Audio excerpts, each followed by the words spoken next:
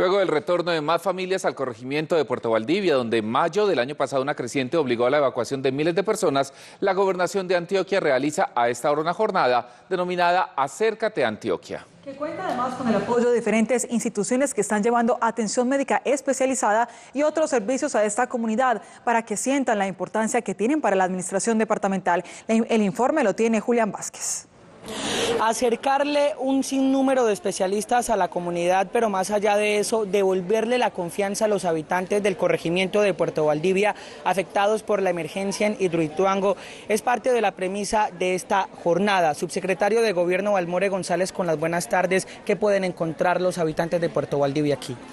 Encuentran una jornada de articulación del Estado, encuentran lo que es la esencia en la atención del Estado médico general, médicos especialistas, fonoaudiólogos. Encontramos una cantidad de acciones que hemos articulado con todas las entidades del Estado para que podamos atender a la comunidad en territorio y poderle decir a Antioquia, al país y al mundo, estamos pensando en grande. Así es, muchísimas gracias, subsecretario. Y es que justamente en estos dos días que se ha realizado la jornada han sido más de mil las personas beneficiadas. Mi señora, con las buenas tardes, ¿cuál es su nombre? Buenas tardes, Bersabe Jiménez. Bueno, doña Bersabe, ¿Es sencillo acceder a este tipo de especialistas en el municipio, a ginecólogos, pediatras?